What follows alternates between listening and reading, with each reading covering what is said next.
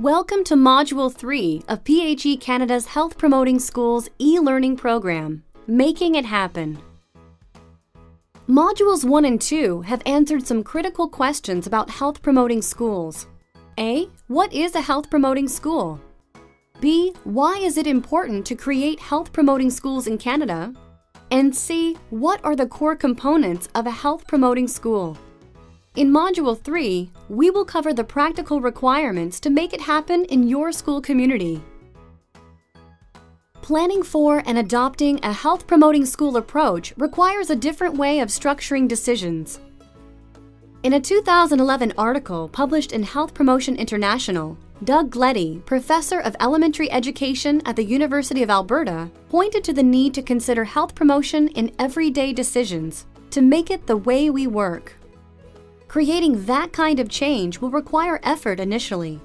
Once up and running, like all change, it becomes the natural way we do things. In a health promoting school environment, everyday decisions focus on three interconnected areas of action. Creating a healthy school environment that fosters learning and growth. Defining and supporting healthy relationships and connections with peers, teachers, and other school staff providing learning opportunities to build new skills and apply them to practice healthy behaviors. It will require a shift in school policies and practices that takes into account the health and well-being of students, their families, and school staff. A whole school approach incorporates healthy practices and experiences in how the school operates, its structures, policies, learning programs, and community partnerships. Consistency is the key. Let's use healthy eating, for example. Healthy school policies ensure that healthy food choices are made available at the school and are integrated into classroom learning. It integrates experiential learning about health into other topics such as math and science. A school community garden is a great example of how math and science can be incorporated into learning about healthy food production. The school makes healthy snack choices available Healthy schools seek opportunities to work in partnerships with healthy food providers on fundraisers and school events. The whole school commitment is to promote health and healthy choices through all aspects of school life and beyond. Living healthy, of course, includes physical activity and fitness. Physical literacy describes the ability to develop the self awareness required to make healthy, active choices. The earlier that physical literacy is introduced, the more likely it is to shape future behaviors. To learn more about physical literacy and access program ideas, click on the link at PHE Canada. A whole school approach to healthy schools includes policies that focus on the whole person. Schools post online resources for students like the Safe Schools Toolkit referenced here. A whole school approach addresses both students' physical and emotional health. Inviting partnerships with stakeholders, students, parents, health partners, staff, community groups, provides insights from those who are informed about student and staff health challenges. Important lessons learned reported from Alberta's Battle River Healthy School Project were to involve stakeholders early and for the entire project, Listen to and value their opinions, experience, and community wisdom. Diverse perspectives and teamwork are crucial to successful adoption of a whole school approach. Teachers play a critical role in both defining healthy school needs and priorities as well as in the successful implementation. Representation and input from other staff, such as the school food services, is essential, since healthy eating choices are central to a healthy school community. When students and their families are involved in creating school policies and share feedback about how those policies are followed, greater engagement and commitment follows. Equally important is active leadership from school administration, since this communicates the importance and priority of the school health. Successful Healthy School leaders build and support the relationships needed to create and fulfill the school's vision. School leaders' roles are to Identify stakeholder skills. Engage stakeholders and community members in planning. Embed health and well-being throughout the whole school. And create and support a positive school culture. The power of a shared commitment to a common purpose can create lasting and meaningful change. Creating internal relationships with students, families, and staff is essential to getting started with your health promoting school. Sustaining and expanding your school capacity requires external relationships as well. Collaborating with other like minded schools allows for shared learning and best practices. Local health partners and government agencies have a shared interest in the health of the community and could have valuable resources to share. Collaborating with health minded community groups, running clubs, sports organizations, yoga and fitness groups, student leadership groups. Partnering with businesses who align with and support the goals of healthy schools. It is important to remember that the school itself has resources, Space, for example, access to which could be valuable to potential partners. Health promoting schools work to expand their available resources through partnering, both inside and outside the school. To learn more about creating community partnerships, check out the link. Data about your current situation is the begin point. This assessment should bring into focus the health priorities of your school. Involving stakeholders and gathering the information not only speeds things up, but it creates buy in and energy for the process. Students, staff, families, and external health partners all can play a role in gathering data. With the data in hand, the planning team assesses the health strengths of the school as well as the needs. While there may be a number of needs, it will likely be necessary to define the school's health priorities. By prioritizing what is most important, you ensure that your available resources are targeting the areas of greatest importance. Finally, summarizing and communicating your opportunities will help build understanding and create student and staff buy-in. In addition to these four steps, taking time to communicate what is happening will keep your school informed about the process. At each major step, remember to communicate what is happening. Adopting a healthy school approach requires changes to existing school policies and practices. Change is much more easily accepted when those who are impacted by it have helped shape what it will look like. That is why collecting data through student surveys and school assessments is so important. Using the school's data allows for the tailoring of policy and practice to your school's unique needs.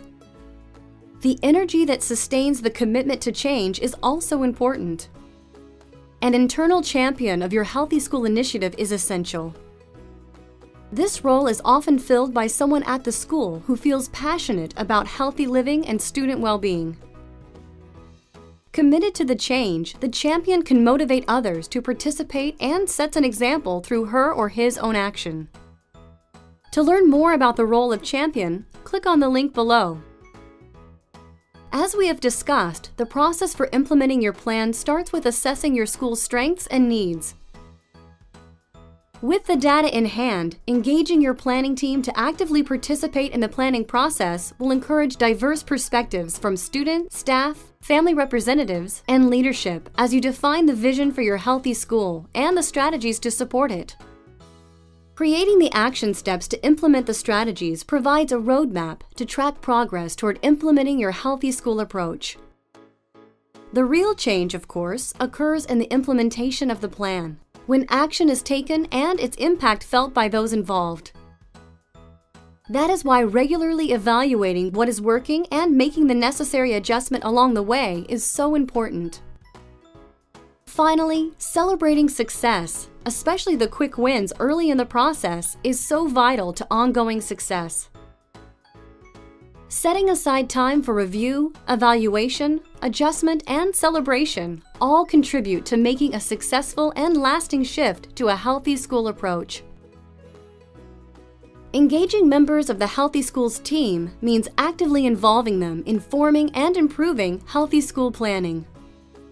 An engaged group of active members expands the capacity of and commitment to the healthy school planning and implementation process. The school champion and school leadership both play an important role in welcoming input and gaining that engagement. At each stage of your assessment, planning, and implementation processes, build in a plan to effectively communicate with your stakeholders. This will likely mean using multiple communication methods to reach different groups. Communicating openly and often helps to keep the Healthy School Initiative top of mind. It also ensures that as changes occur, as they invariably do, both the change and the rationale are shared with the school community in a timely way. At this point, we have been focused on the planning process. Implementation success depends on engaging the whole school community. Making it fun is critical.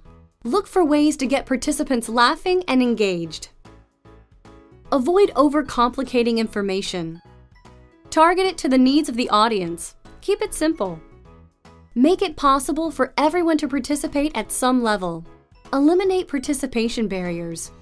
Finally, involve everyone. Make an effort to find an active role for each participant.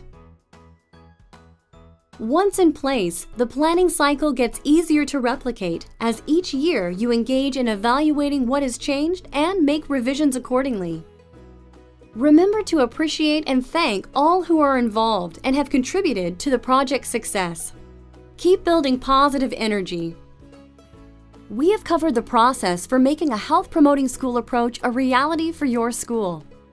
Now is a good time to take a moment and reflect on the current situation at your school. The following questions are adapted from the Healthy School Planner, a document developed by the University of Waterloo working with the Joint Consortium for School Health. This survey planning document consists of a series of questions that can be used to assess your current strengths as well as to plan for your school's healthy school approach. The following four reflection questions focus on how to plan for and implement a health promoting school approach at your school. As key stakeholders in the success of a healthy school approach, student involvement as leaders in your school is important. Please take a moment and reflect on how often students play a leadership role in organizing activities at your school.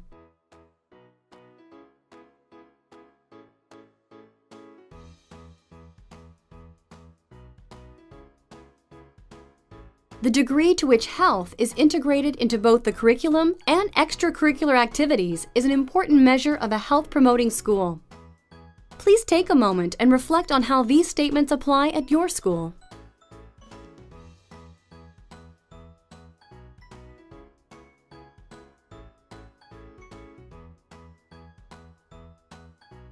Order to achieve success, a health promoting school regularly measures its progress toward creating a healthy school community.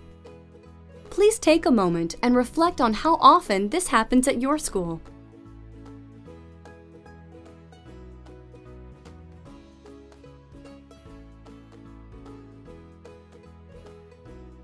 A health promoting school approach includes a regular review of health related policies and practices to determine what is working and what is not. Please take a moment and reflect on how often this happens at your school.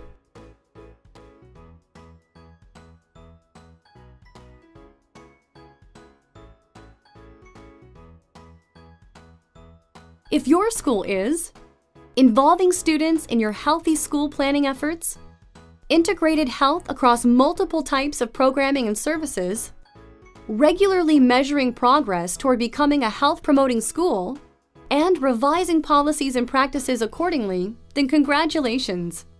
You have taken important steps toward establishing a health promoting school approach. If you need help with getting started or expanding your health promoting school initiative, PHE Canada is ready to support you in your efforts. Click on the website link to learn more about how PHE Canada can help. We have shared with you the process used by schools to plan for and implement a health promoting school. In our fourth and final module, we will discuss and share resources available to you to help establish a health promoting school approach at your school. Thank you for your participation. This e-learning module has been brought to you by Physical and Health Education Canada with the generous financial support of the Lawson Foundation.